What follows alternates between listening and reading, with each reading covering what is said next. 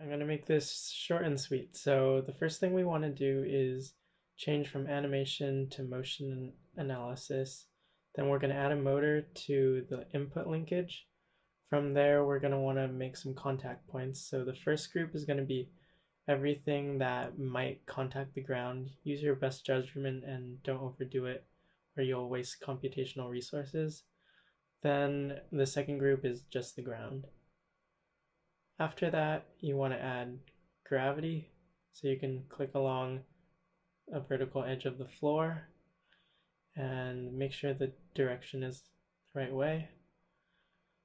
Then we're going to compute the motion analysis and you should be good.